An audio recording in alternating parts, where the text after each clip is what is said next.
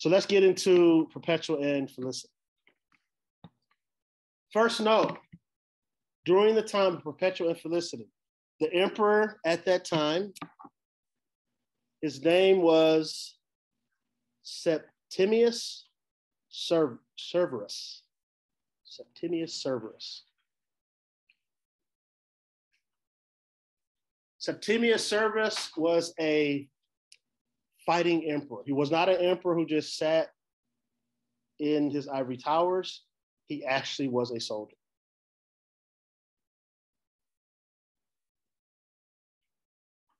Prior to even becoming emperor, he was a fighter. Once he became emperor, he was very generous to the Roman soldiers. You guys know how today, regardless of what side of the aisle you sit on, there are certain administrations when they become presidential administrations, the expense on the defense budget just skyrockets, right? They just, you can tell that they are pro military. Money just goes to the military. The same thing is happening here. Severus was a military guy. When he became emperor, he raised the salary of soldiers 67%. Which means if you raise the salary of soldiers 67%, that means everybody got taxed that much more.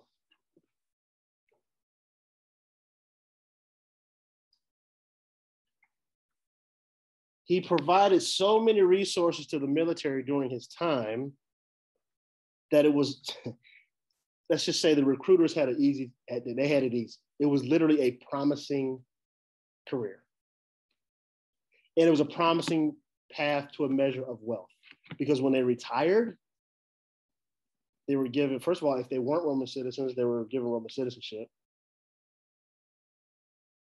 they were given land they were given households, the slaves. I mean, it was it was a nice way to, to, to move on up. Okay. In addition to, um, I guess you want to say, helping out the economic situation of the military and the military men, Rome had this, as we know, this pantheon of gods. You guys remember the Persian god I mentioned, Mithras? um, Mithra became the preeminent god of the Roman pantheon during um, Severus's reign. Why? Because the deity was popular among the military. Mithras was the sun god, which incidentally remained popular all the way up through the time of Constantine which made it easy for certain traditions that we'll get into um, between the pagans and the Christians to, to sync. Mithras was born on December 25th. It was the worship of the sun who rose in the east. Okay. And the sun during the spring solstice, they worshiped the sun because it was resurrected. It was no longer winter, so the days got longer. It was during that season. So, um, as you can see, some things started to sync together. This all started with Severus. Um, now, during his reign, early on in his reign, he was not um, hostile to Christians. In fact, he had members of his household who were Christian, and the nurse who looked over his children was a Christian nurse. However, for some reason, we do not know why, about, I don't know, 10 years into his reign as emperor, so we're talking now 202, he issued an edict that forbade conversions to Judaism and Christianity. So he didn't have an edict against Christians per se. He didn't have an edict, uh, edict against uh, Jews per se. He had an edict against the conversion. We don't know why. We don't know why he had this hang up on um, persons converting from pagan faith traditions to either Judaism or Christianity. Some speculate maybe he had a close associate who converted and then stopped participating in something, right? Couldn't go to the club no more because you're a Christian now, right? So now I hate all everybody, everybody who's switching, right? Y'all, y'all, y'all messing my game up. We don't know what was going on. Something happened that made him not like the conversion process. As a result of the edict, a persecution followed.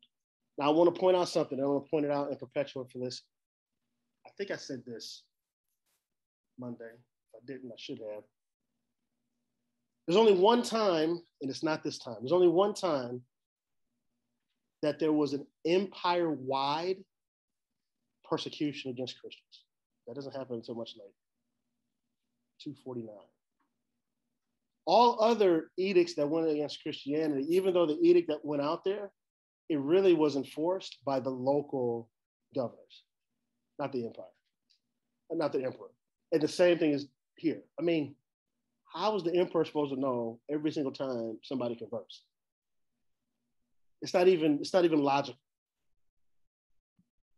However, the local governors, if it was an issue in their local area, they would conveniently use the edict to say, oh, now I have a reason to round up me some, some Christians. Let's use this. Right? And get now, remember who they're rounding up is those who convert. This, this edict. There had to be usually some type of stimulus is the reason why they went locally, began to go after um, the Christians. This persecution that followed was especially heavy in North Africa, which is where Perpetua and Felicity and their friends were. It also is where um, Tertullian was, in this area of North Africa, which is the reason why some believe that Tertullian is the one who wrote uh, what you're reading about Perpetua and Felicity. Others that, just so you know, others that, that died, these are names that we're going to be talking about during Severus's reign is Saint Clement of Alexandria and the father of a man named Origen. Origen, one of his readings is actually, you're reading that on Friday. Origen's father. Origen did not, was not murdered, even though he tried to be murdered. Uh, matter of fact, when his father was martyred, um, he wanted to be there, but he couldn't because his mother didn't want her baby to be martyred. So when he got up to leave the house, she hid his clothes. Seriously, hid his clothes. He was like, I can't go out naked. Where my clothes at? Mm, I don't know your clothes at. You ain't going today. you ain't going today. So he was not able to go. Um, which one second, which leads to what you're going to read on Friday, which is an exhortation for martyrdom. It led him to write this exhortation to martyrdom. In other words, we need to be, we need to desire, we as Christians need to desire to be blessed, to be put in a place to be a witness. So, so we're reading that on Friday and not for Friday? It's for Friday. Okay. All right. Any questions? Let's get into yes. 202. 202. 202, 203. All right. So let's get into Perpetua and Felicity. The story that you have, even though there's only three voices, there are actually um, four, five, individuals involved in this account.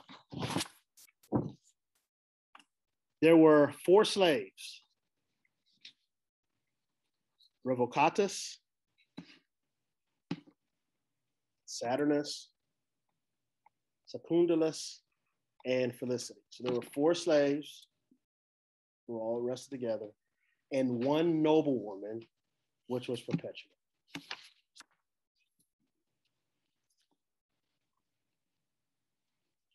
Perpetua, as I mentioned, was from a noble family. Interestingly, she was married, but her husband does not. I, I'm going to point out why this is significant. But her husband is not mentioned anywhere in the account, which means one or two things. Well, most theological historians believe it means one or two things. Either her husband was arrested as well, and he just isn't mentioned, which means he was part of this whole journey to martyrdom, or he had passed away. The reason why is because of the, the father's actions, and I'll talk about that later on. We know she was married, but we don't know why the husband is not mentioned or involved at all in the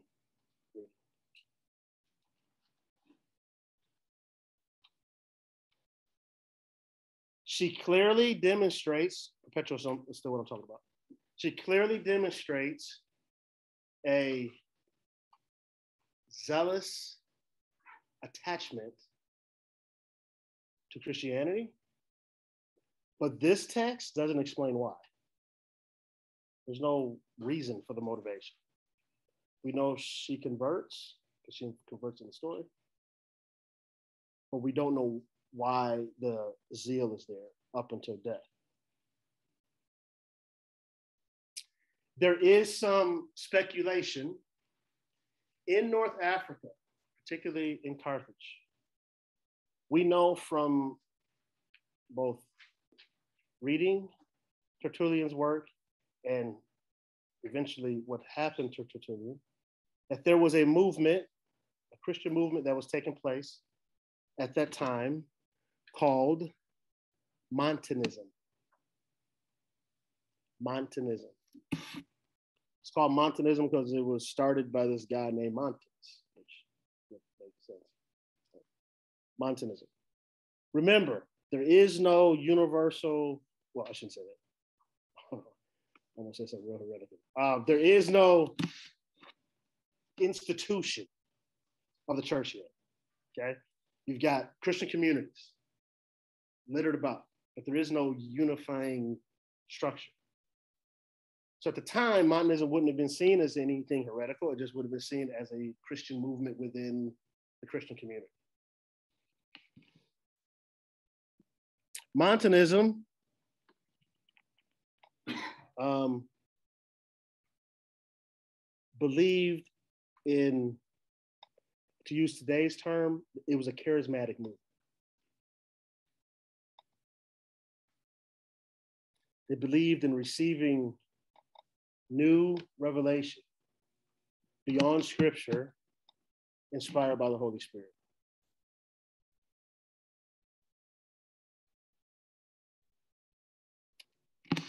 They firmly believed that Jesus was going to return like tomorrow. They always lived in expectation that he was coming the next day, like literally, he coming tomorrow. You need to be ready. So they lived a very austere, holy life.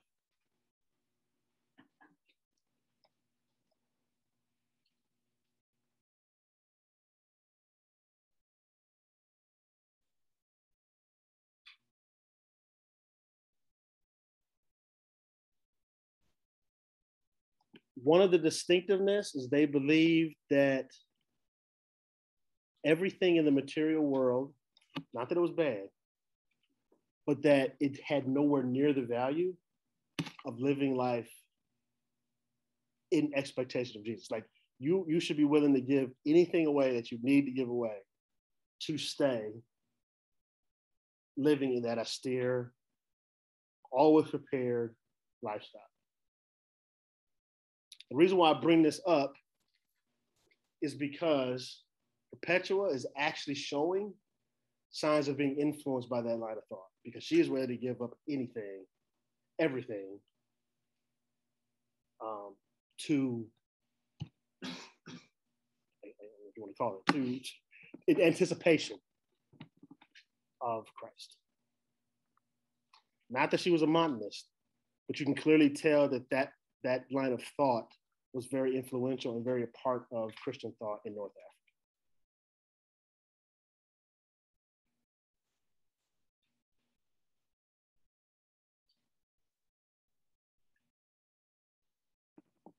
The text that you were given to read, the editor, if it's Tertullian, whoever the editor is, he points out very early on there are two reasons why martyrdom literature is repeated.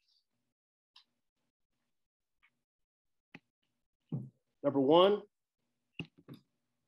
because martyr is a witness, the more you talk about the martyrs' lives, just talk about their lives, gives a witness to Jesus, gives a witness to God's grace. So simply, if you don't have anything else, this is a way to put it.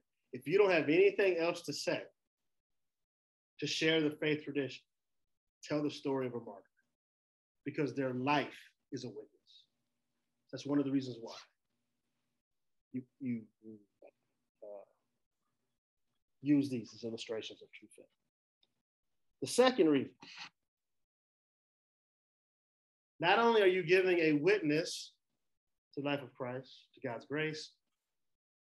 But to those who are already believers, you are giving edification. You're giving um,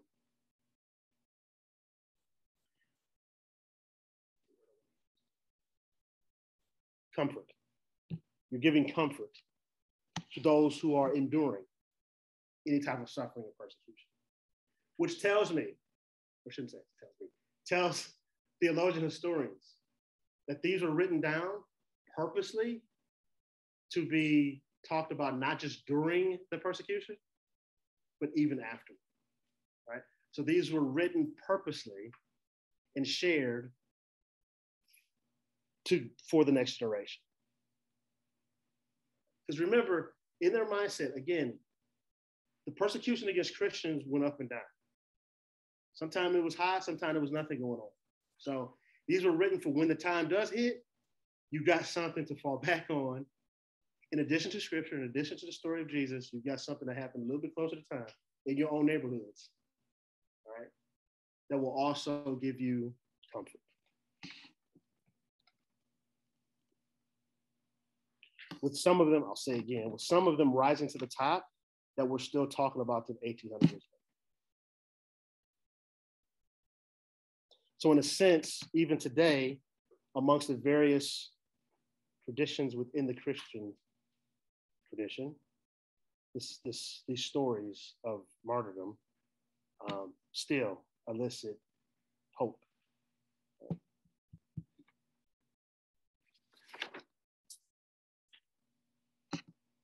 One thing I want you to realize, recognize early on in the text, it talks about that Perpetua was under house arrest early on. Did anybody catch when did she go to jail? Anybody see when did she actually go to jail? She was first under house arrest. What took place and then she went to jail? Marissa? That tells us something about the way the outside world saw Christians. It tells us a little bit something about the way the Christian community saw those who I kind of call that in between stage. To the Roman authorities, to the outside world, the pagan world, what was a clear act that identified you as Christians? How did they know? Baptism. So, baptism was a definitive act that was a visible um, symbol of where your allegiance was. Prior to baptism, if you were associated with the Christian community, so in this case, this, he Hilarion is his name, the governor. I'll, I'll show you wh- why he did it, but he's using the emperor's edict. If you are being assumed or is alleged that you are in the process of conversion, you're not put in jail because you ain't a Christian yet. Conversion doesn't take place until baptism. But if you're associated with them, you're going to be under house arrest. You're being, you under speculation. We watching. Okay? That tells us something about the early church community. There must have been some type of process for moving from being unbeliever to believer. So, in other words, it's not just, I'm gonna get baptized today and I'm a Christian today. There had to be some process enough to where you're making changes that you're not Christian yet, because you ain't been baptized, but you're making changes enough to be identified that you're associated with.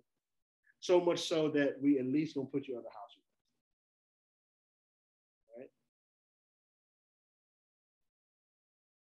We know, even though it's not written here, we know what that means.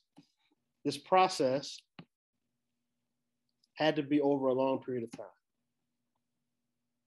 Today, in the Catholic tradition, who knows what the process is called if you want to convert? If you're an adult and you want to convert, what's it called? Anybody know? Hmm? RCIA. Does anybody know what RCIA stands for? Rites of Christian initiation as an adult, for an adult. For an adult. So, into technically, everybody everybody's RCIA program is not equal. Some are better than others.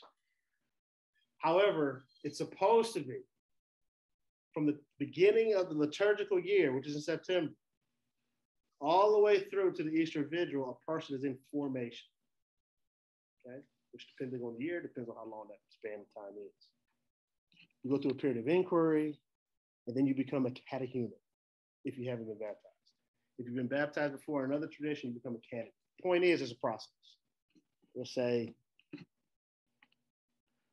seven month process. Before the fourth century, it was a lot longer than that.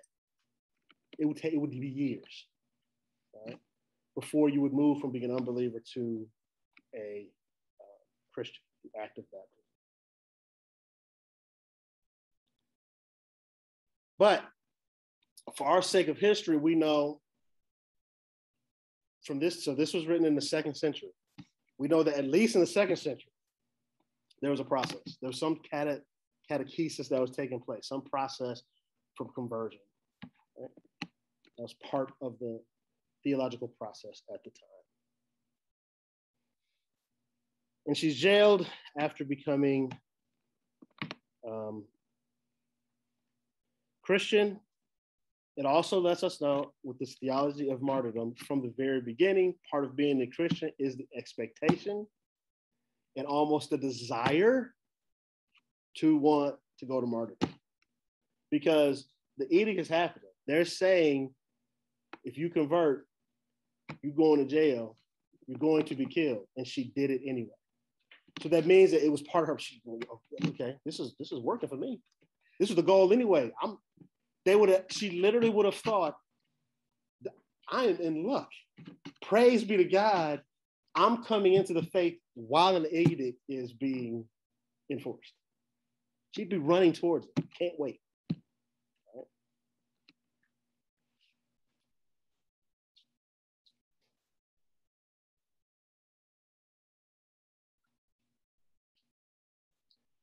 In her vision, she has two visions that it talks about in her first vision, which has this vision of a ladder to heaven,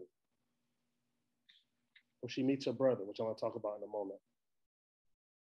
But her brother in this vision says to her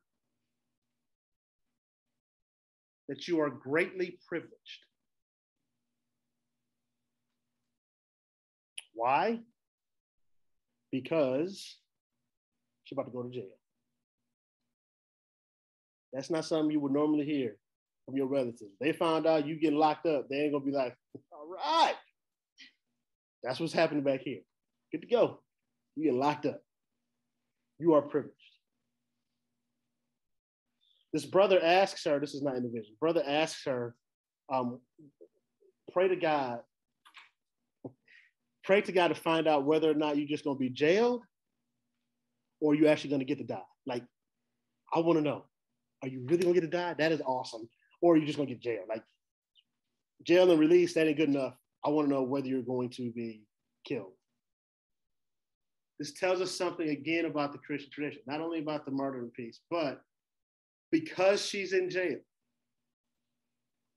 because that has already occurred, they believe she has, because of already going that step, she has access to the Holy Spirit to get some extra information. So just being persecuted to the point of being jailed means that you got closer access to the Holy Spirit than me who was outside.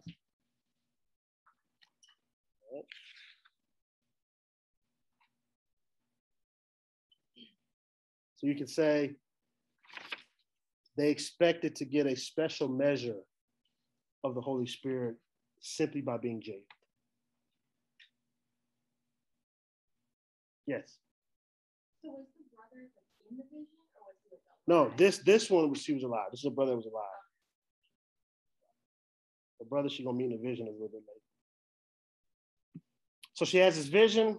Her interpretation for the vision is she's going to die. Point is, even though she was going to die, she woke up from the vision and was incredibly happy that she was going to be put to death as a witness to Christ.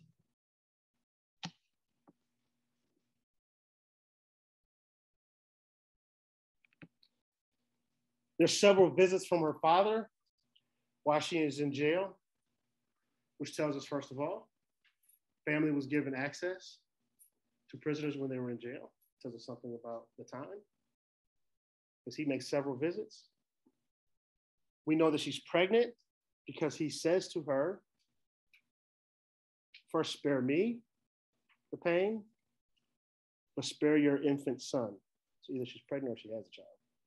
She has a child. That's Felicity that was pregnant, right? Felicity's pregnant. So Perpetua has a child, spare your son. There's one line that tells us something again that obviously was a way out for Christians. The father says, just make a sacrifice for the emperor's well being. So, in other words, the Christians, you had a way out. Your way out was remember, we said you have all these traditional religious traditions. But if you if you did what you had to do for Rome, the father is saying, look, if you just do this act for Rome, do your Christian thing, fine. But do this act for Rome, you'll be spared. That tells us that there wasn't out for Christians. Right. If they did this sacrifice to Rome, if they did this sacrifice to the emperor, this one act, they would receive what was called certificates.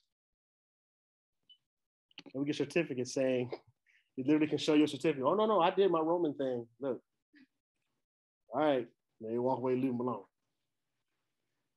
Now, the reason why this is pointed out here in the story, we would love to say that all Christians were faithful unto death. Ooh, no, it was a lot of them was like, I'll do whatever I got to do to stay alive. Give me the certificate. So they would do the Roman rite. I should Roman rite. No, say The Roman, they would do the Roman ceremonial um, sacrifice to the Roman gods or to the Roman emperor and receive the certificate. So the fact that they put it in here and she said no, again, exemplifying, defining what actually is a witness. Okay. Yes. So if she did like the Roman thing, would she still be able to like be a practicing Christian? Well, okay. So that's funny. That's an interesting thing. Um, yes, but would it be accepted very shortly after? What I mean by that is, well, I'm saying shortly, but a century later, which we'll talk about next week, the Christian tradition goes from being persecuted to being the emperor's faith. Right? Well, I shouldn't say that. Constantine did not become Constantine accepted Christianity, right? It goes from being the, the minority in the group to being the most powerful faith tradition in the empire. Once they became the most powerful in the empire, now they start asking questions. Okay, what about those people who took the certificate? Now there's a whole debate about are they really Christian? Are they really with us? Even though it happened a long time ago, are they really in? So that question comes down the road. And we'll talk about that. They're called lapsed Christians because they were terrified, so they did the answer to the question. Absolutely. This is more of a theological question than like a historical question, but like, isn't there, a, like, I'm still like thinking through this, but like, isn't there almost like an honorable thing to like staying alive and witnessing to people that aren't Christians yet? You know what I'm saying? Not at the expense of giving your worship to another God. Oh, that's fair. That's a good point. I didn't realize the Roman thing like. Oh no, it's it's Yeah. we gotta remember, remember what I said, worship is not a private matter. Anything you do with worship, you're signifying two things. Yeah, sure, a religious thing, but more importantly, a political thing. Right? So you're no longer putting faith in Christ, who you're putting faith in. Publicly. The emperor. And. One other thing I want to mention that happens early on um, in the text by the editor makes a statement. And this actually happens again when the animal that attacks Perpetua and Felicity. It's, it's the significance of the animal that was used. It's very rare in any text to emphasize a feminine aspect to the text, but that's what happens here in, in Perpetua and Felicity. Um, because it mentions that when she was sentenced to die by the wild beasts, um, she gave the baby up to the family, which tells us, first of all, the baby was in jail with her. All right. And then she gave the baby up once she was sentenced. And then God, it says, God made sure the baby no longer desired to nurse. And Perpetua said, and I didn't suffer any inflammation, so I wouldn't be burdened by anxiety for my son and pain in my breasts. I mean, it is an actual physical thing that happens, right?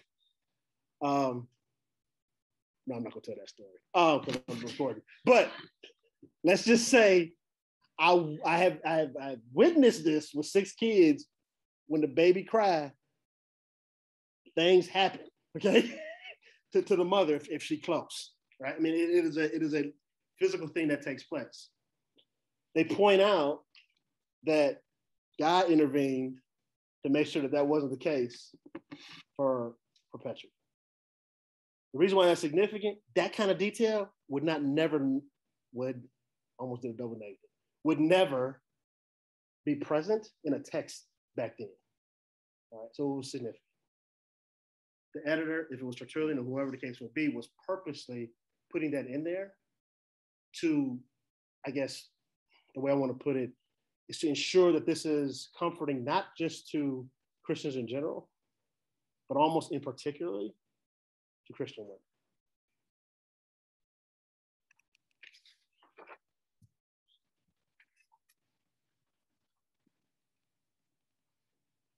This is where I want to point out it says specifically in the text. We know why Perpetua and the others were kind of what I called uh, uh, gathered up for these games. Remember how I said the emperor doesn't normally do this, it's a local governor. With the local governor, his name was Hilarion. Hilarion. He basically wanted to, for lack of a better term, kiss up to the emperor. So he came up with a gladiator games in celebration of the emperor's son's birthday. Son was turning 14.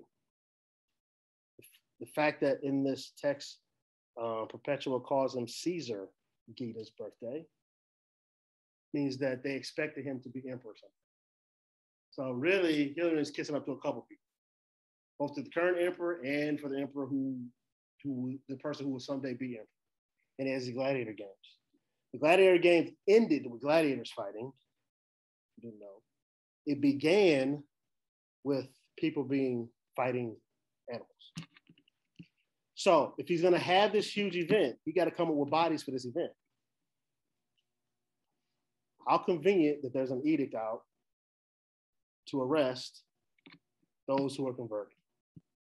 That's the reason why you have these Christians being jailed at this moment in time. He's preparing for this game. The expectation was the four slaves. What Hilarion was not expecting was that one of them was going to be a noblewoman. That don't look good. Okay. So one of them wrapped up as a noblewoman, which is the reason why you have so much insistence on her to recant. Ain't nobody asking the slaves if to recant. They don't, no, y'all, y'all go. For the noble one, please do something. Are you sure that's what you want to do? All right. The person who continues to visit her and ask her to recant is her father. This is where I will say um, we don't know if this is a is a literary device or if it was her father who was truly coming. This is what I mean. In the Roman world, say something that is, is uh, every time I say I hesitate because it's it's painful part of human history. And I got two daughters, which is the reason why I hesitate every time I say it. But in the ancient world, particularly in the Roman world, women were property. For all intents and purposes, they did not, they had more rights than a woman who was not a Roman citizen, but they didn't really have any rights. The male in the family had all control over the woman, life or death. So for Perpetua, a noble woman, this is why it was weird to have a noble woman in this situation. Normally, her husband would step in and be like, okay, you ain't about to be no Christian. You can be a Christian undercover, you can be a Christian around this house, but you ain't about to be a Christian where you about to go to jail. It's, they, they could not say anything about it. In this case, it's not her husband, it's her father which is the reason why we say either her husband was locked up too, which means he did not have, he, he couldn't speak on her behalf because he was locked up too, or her husband had passed away. There's a third option. Remember, I said early on that this was being written purposely for generations down the road, Christian communities down the road. In the Christian community, this idea of the father having a relationship with the one who was about to be uh, sacrificed carries a special connotation. So we don't know if it really was her father or if this is something the author, it's kind of something that they re-edited, re, you know, kind of redacted to speak to the Christian community. Because the father is clearly, clearly distraught at his daughter's situation. He visits her several times. When he was at the house, I kind of call it another mic drop moment for Perpetua. When he says to her, you know, do you really want to do this Christian thing? She pointed at a cup and she said, What do you call that? He said, A cup. She said, Would you call it anything else? He said, No, it's a cup. Then don't call me anything else. I'm a Christian. Mic drop. That's bad. That's bad. then later on, the father comes. It says that he's pulling his hair out of his face. I got a beard. All y'all fellas here with a beard. Could you pull? Could you even? I don't care how hard you are. Could you pull your hair out your face? It hurt. Okay, it hurt. So that's how distraught he is. He's laying on the ground. He's ripping his clothes. He's a nobleman who is not acting very nobly. Is that a word? Yeah. Okay. He's not acting very nobly, right? Because he is so distraught. This is the point as a Roman father, he would have the authority to just do it. This is why I think there's some literal or there's some literary. Um, this, this is a device here. The father has the power, and he obviously loves her, but he still gives her the choice. Ultimately, it's still her decision. Do you see how, if it's a Christian community, you, you, you kind of are, are you would be sens- you, you would be extra sensitive to that interchange between the father and the one who is choosing to give up their life. Freedom is that important, even to the father. So he's hurting because she's losing, he says she's about to lose her, but he doesn't want to take away that autonomy from her. It also demonstrates that Christian values supersede any allegiance that you have to family.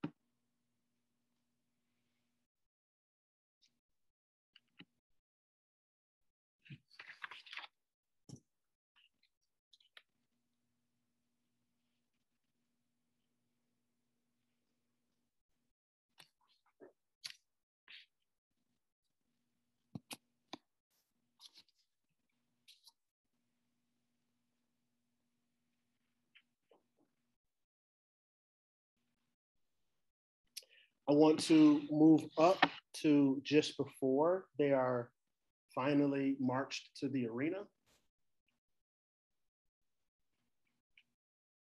It mentions there that the military, once he has all these Christians um, in prison,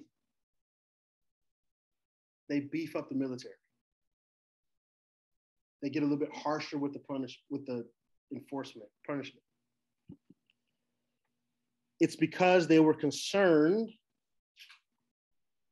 about some kind of magic spells. This tells us, more than likely, even those who were unbelievers knew some of the stories in the Gospels of the apostles who what would appear to them magically were freed when they were in prison. So they knew these stories. And they're like, that ain't about to happen to us. They, they genuinely were afraid of these magical spells.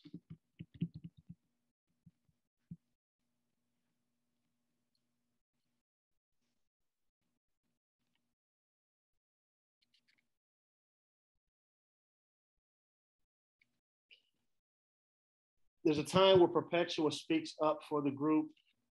They're getting ready to go out to the beasts, but they look like they've been in prison. And so she says, "Can you know? Can we can we get cleaned up first? And the commander's like, "Shut the hell up! You you about to go out to the animals? What what, what are you talking about?" And she says, "I can't believe I just said that. I'm recording this." Um, she said, aren't we important enough to your emperor to be clean before we're in front of him? She said, and I said it calmly. Apparently, she said it with so much force. It says in there that the commander got horrified, and scared, which is a couple of things. First of all, she probably said it kind of strong. She's a noble. Remember, she's a noble woman. Okay, she said it pretty strong. And remember, they scared of magical spells. That tells you there was a level of fear, respectful fear for the Christian community. So even the Roman soldiers was like, okay, they they are about to go out to wild beasts and they concerned about how they look. And she talking real strong. That that can scare you. I mean, that can again, I know I like to use football or football, sports illustrations. My son plays for St. Edwards in Cleveland. Anybody know about St. Edwards in Cleveland? Football powerhouse, right? He's not from Cleveland. He went there just to go to school there. He said, Dad, it's not even fair. I said, What you mean it's not fair?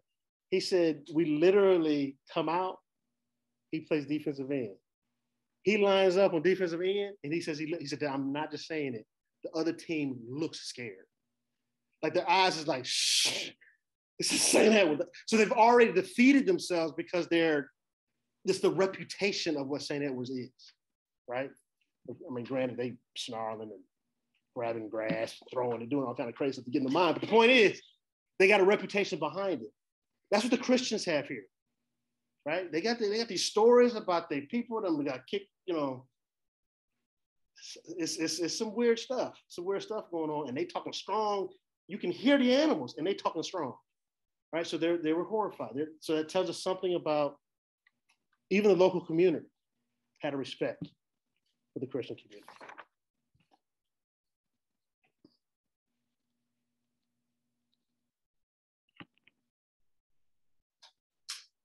One of the um,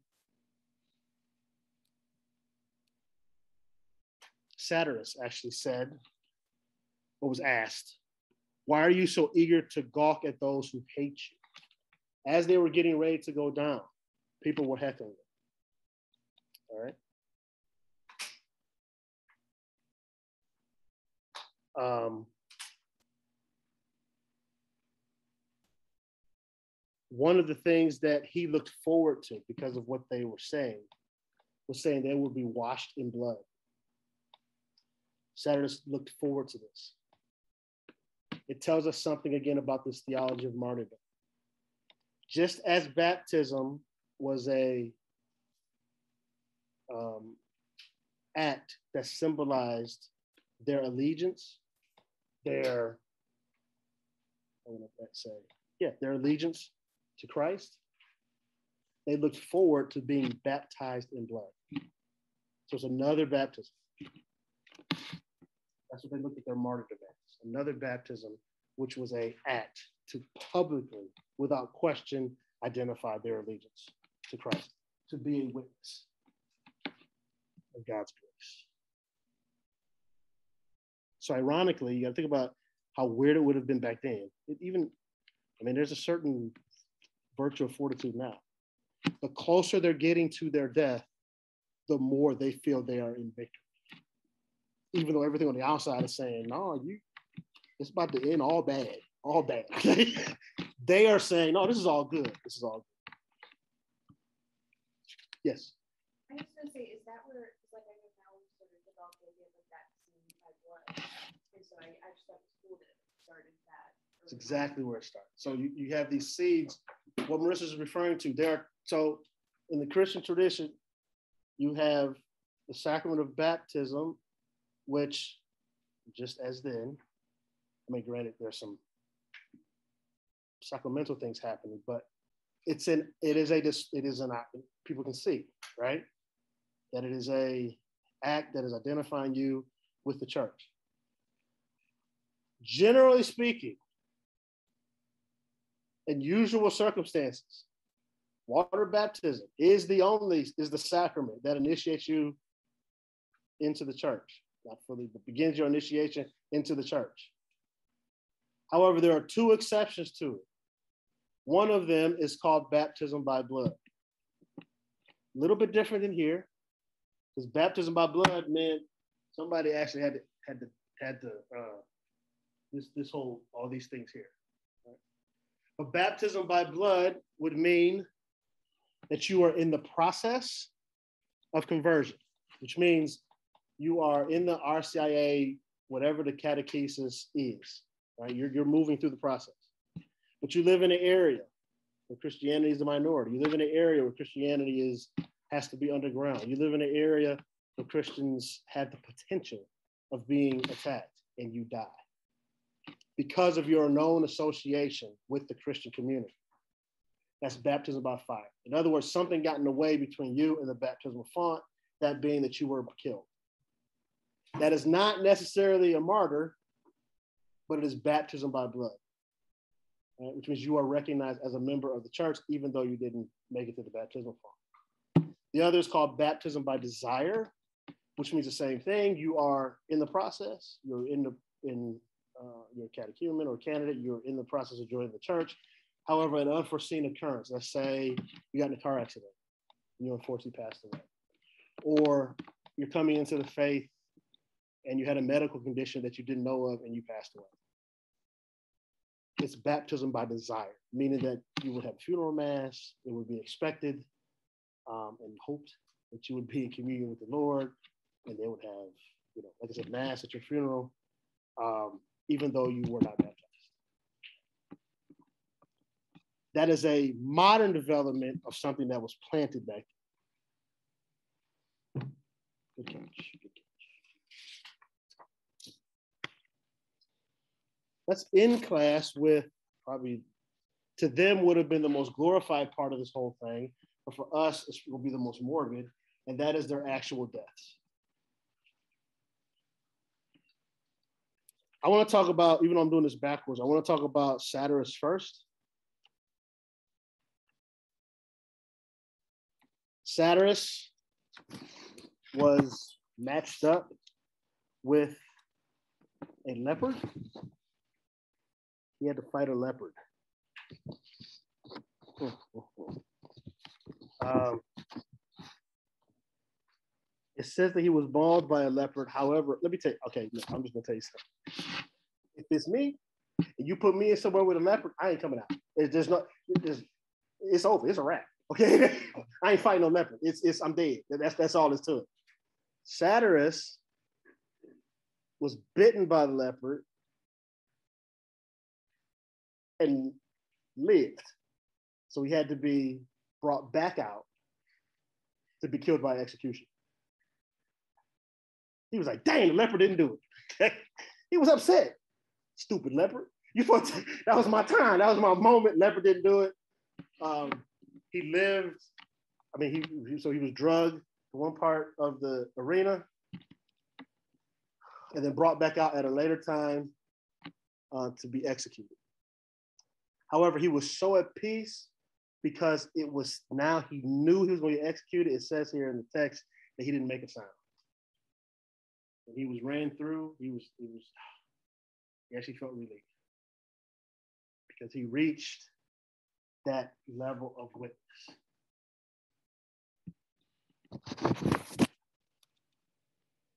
Perpetua and Felicity, this again, I don't know, we don't know whether or not this is the actual animal that they were mauled by or if this is literary device. We don't know. But did anybody catch what animal, surprisingly, the animal they were mauled by? Anybody catch it? Was it a bull? It was a cow, a very fierce cow, gored by a cow. Now, I don't know how many of y'all have been around cows, but normally a cow, not a bull, we're not talking about a bull, we're talking about a cow. Normally, you know, don't you don't want them to sit on you, right? But you can tip a, you can literally tip a cow. Now I have not done it, But I got buddies in the military who grew up in rural areas. They swear it's the funnest thing in the world. I'm not gonna try. I just I don't mess with wild animals like that. I mean, I know they're domesticated, but to me that's wild. If I can't put it in my house, it's wild. Okay. so I'm not messing with an animal like that. But the point is you can tip one. Okay, you can sneak up on one and actually tip it over, which I guess is cruel. I don't know. Is it hard for them to get up? I don't I don't know. But anyway. So they're actually sleeping when they do it. They sleep standing. Oh. Yeah. Hmm, see, that's more information right there than I probably need to know, but that's okay. Anyway, anyway, the point is, I, it, it's again, it's you have a, a cow which produces milk, right?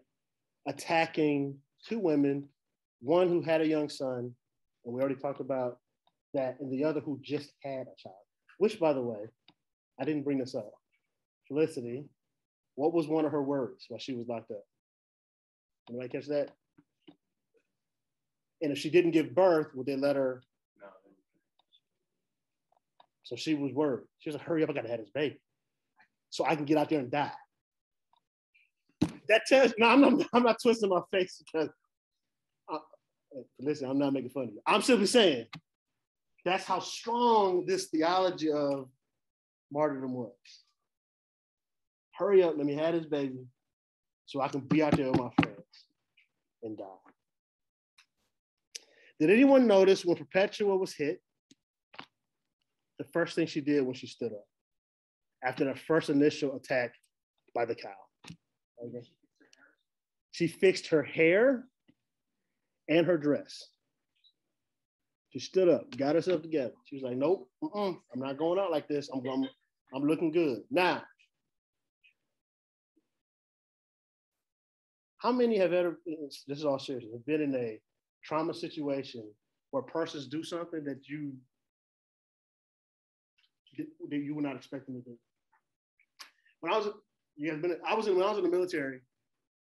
I was driving a Humvee in Croatia, and I was in the beginning of a convoy. As we came around the corner, a round came through the front windshield and shot my warrant officer who was sitting right next to me. I mean, bang, his head went back. I didn't even turn my head because I'm like, and then I hear him talking. He's telling me, hurry up, hit the gas, do this, do that, yelling up to the guy, radio this, radio that. Now I'm driving and I'm like, I got to see, got to look. I look, I'm not, not, y'all, I'm not playing. His hope, his eye was, was, I'm talking, when I say gone, was gone, gone. And I'm like, so we drive.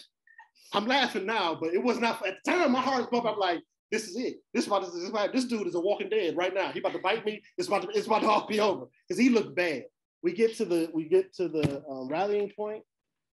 He gets out, dip still in his mouth. I'm then walking around. He walks up to the corpsman and says, "Fix me, fix me." The corpsman is looking at him like, I mean, you know the way you don't want a doctor to look. You show up and you like, I got something wrong. He like, uh, I don't know what to do. That's literally what the corpsman was looking at, like, oh, dude, how are you walking right now, right? So the point is this: we don't know whether or not it was really the spirit that just had her composed. Because sometimes you can get in a situation where you just do some stuff you you don't. She cleaned herself. Oh, I don't look good. She in an arena with animals running around, right? So we don't know what, what that was about. But the point is, it's repeated in here to, right? to um, that threw me off. Sorry, that threw me off. To emphasize how spirit filled that she was. We may have modern, we may have modern explanations as to why she did what she did, but the point is, it was written down there to show how prepared she was. Perpetua as well survived the attack. All of them had to be brought back out and then executed.